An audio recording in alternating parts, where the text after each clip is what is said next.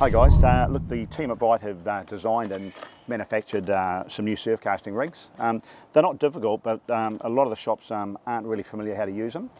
So just I want to run through them uh, with you. Now if you went into a local tackle shop and you were going to go surf casting, that's probably a really easy rig. Right? It's basically a flasher rig that guys would use in the boat.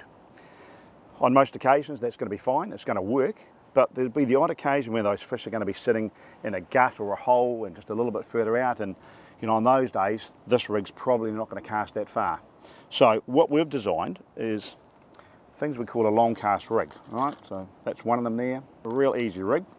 So we'll just rip that to pieces and show you how it works. So these come with two traces and what they call a long cast pulley rig. So that's going to slide on here like so. Right, now what you've got, you've got a floating swivel, and if you have a look here, we have a fixed swivel at the end and we have a floating one.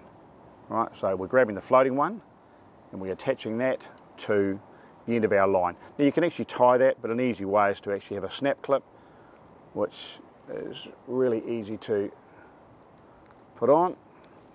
So, if you look at that now, and the reason we call it a pulley rig is because of that system there. So you imagine that once we put the trace, the bait is actually going to sit hard up against this little mechanism. So, grab one of these traces. Now we'll just undo that snap lock, clip it in there. Just take a little bit, of, a little bit of slack up to make it a little bit easier. Right, so once I put the bait on, which I'll show you how to bait, we have two hooks. We have a, a, bottom hook and we have a keeper hook.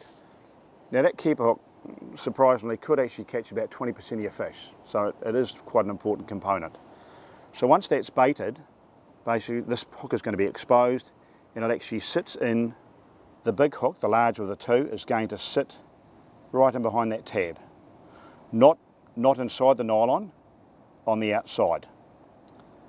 So basically when you cast, what happens, and I'll put it here, is the water pressure pushes the impact shield like so and releases the trace. The idea behind the floats, these have a little stopper on it. Long as they're wet, you can actually move those stoppers wherever you like. So you can position your, your floats. So say I was putting a whole pulley on, then obviously I need to move them out of the way. So when I'm rigging that, that bait could look like this, right? And then I'll slide those slide those little floats right down to the bait. Now, contrary to popular belief, you know, I've had snapper take a bait like that, the floats, the whole lot have been in their mouth, so they're not put off by it. Um, some of the baits there, I don't know whether the, um, the float actually has a huge amount of potential um, is lifting the bait from the, uh, from the bottom, but what it does, it actually gives a little bit of movement in the wash. Um, and I think the fish are sometimes attracted to the movement, attracted to the colour. Some of our other rigs have, um, have a flasher rig on. Um, look, there's no right or wrong. These are just many options that, uh, that you know, one can use. So what I'll do now is I'll bait these, uh, these up and, um, and show you how that's done. Many ways of cutting a bait. I, um, some people don't like the tail, I do. And, and I don't generally put out a big bait. Um, generally cut it on an angle. I like to expose that gut cavity. All right, so my first bait would be here. Then probably what I do is to get good value out of your pulley. Probably the second bait would go along here, and then I've got a third bait going that top piece there. So out of a pilchard you actually get you know, um, a reasonable amount of baits. Now, probably the one important thing is don't be um, don't be shy in having those hooks protruding. Don't try and hide them. Now the fish are not not worried about that.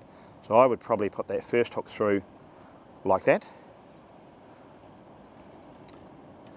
Right, and I get my second hook and I would go through through like this.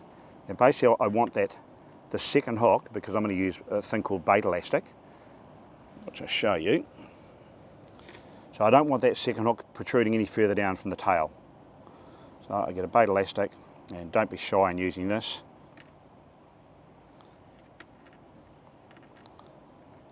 Bait presentation is really important far as I'm concerned. All right, just a couple of little, little half hitches. Pull that tight, it's elastic, it'll break.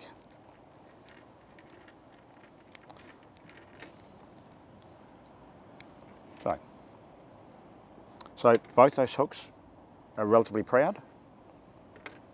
So when I'm going to put that on that on that um, that pulley rig, you're going to see there's plenty of room for that to slot under. Right, and it's going to sit there nice and tidy. Right, now we'll do a um, I'll do a squid bait for you. Again, now I like my baits really slim and nice and long. Once again, just very very personal. It's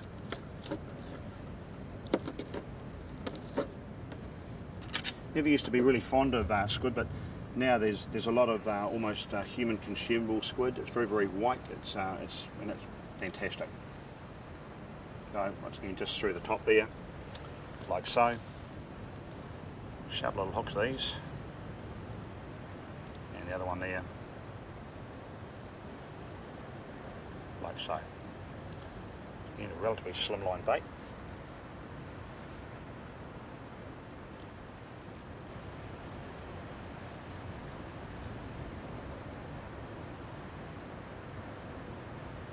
Just the bait cotton just allows you to, it'll hold the bait on a little bit longer. You know, sometimes a few pickers out there, crabs and um, the odd little sprats and what have you. So squid's pretty strong anyway, but just uh, it'll just hold it together a little bit nicer. Sometimes when you don't do that, you know, you the first fish, first fish will come in and it'll grab it, and they would tend, tend to actually rag the bait, so the whole bait is pulled down, and there's not a lot, not a lot holding that bait on. So by using that bait elastic it's going to hold everything everything together right so and then so a rig like that I would probably my idea with that I would get those little pieces of rubber slide them down move them all the way down and that's going to give that's going to lift that off a fair amount off the bottom right if I move that for argument's sake and I move that back to a halfway position then obviously that's not going to have the same lifting potential so ideally slide it down, bit of colour, more movement, going to increase your, your chances. An average caster, this could give you 20 metres distance, an increase of 20 metres. So it's huge. Now you imagine this one here, I've got two baits on here. As I cast, those things flow around and you just, there's a huge reduction in the distance you're going to cast. Um, right, we've been through the, uh, the pulley rig. Now this is a slight, um, slight alternative rig. It's what we call a pendulum rig. Now uh, pendulum rig is a different style of casting. Uh, most of 90% of our fishermen would use what they call an overhead thump, which is where they would have their rod, they'll lay their sinker on the ground and bang, the big cast. Right? Pendulum cast is when you want to um, increase your distance and you want to walk out and say we've got a beach like Ocean Beach, um, where you might be able to wade you know, 20 or 30 metres to, and then cast. Um, if you use that normal cast, you're actually putting your sinker and bait in the water and there's a hell of a lot of resistance to actually get that through the, through the air, really hard on your gear. So what guys have, have, um, have developed overseas is a pendulum cast where the, where the line is swung around their body, everything's kept out of the, out of the water, um, and it's that swing that actually loads the rod and they get incredibly um, long distance. Um, so the pendulum casters are looking for extreme distances, so they want everything really, really small and compact. So we designed this, um, this pendulum rig. So very, very similar to the uh, pulley rig. It's only the, um, the bait release that is different. So if we just open that up, right, remember on the other one we had this black impact shield We've now gone to a small thing called a pendulum release clip. And it works on the same principle. It's that little, little tab there. All right, so the, so the hook is going to come down and hook under there. All right, so it's really small. And that little tab is what's going to hit the water and actually release and turn that up and the, and the hook will come free. Really smart little uh, little mechanism. Quite fiddly, but for the for the guys doing the pendulum cast, it's almost you know, a, they have to use it. So, not going to go into baiting that up. That's just another uh, another rig that we do, right? Specifically for those uh, for those pendulum casters.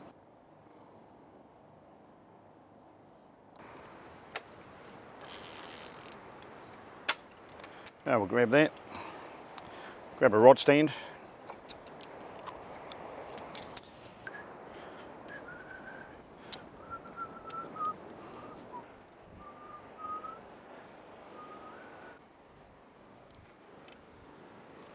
Just have a little quick look, look at that. So that's going to, so pull your impact shield down, it's got to be hard down, right? And basically, if you have a look at that, you'll see the nylon. So basically that's there, when it hits the water, pushes up and releases. You see the nylon move right across.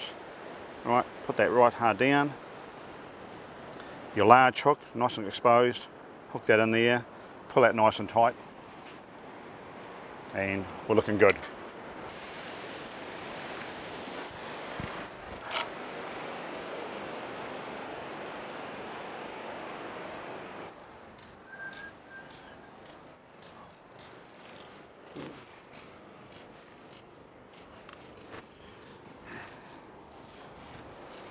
You just put a little bait feeder on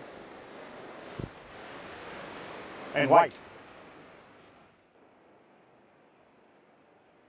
If you're out there, and you cast out, uh, the prong sinker allows you to actually put a nice bend in the tip, right? So if you're not really attentive or you might be baiting and you look up, rod's still got a bend, then you've had no bites. If by some chance fish comes and bites, you will find the rod will either go right over or the rod will stand up straight.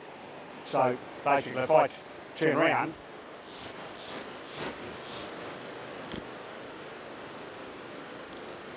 and that rod was standing like that, then man, I'd pick it up, take up a little bit of tension, wind in a bit of line, wait, and invariably you feel that second bite.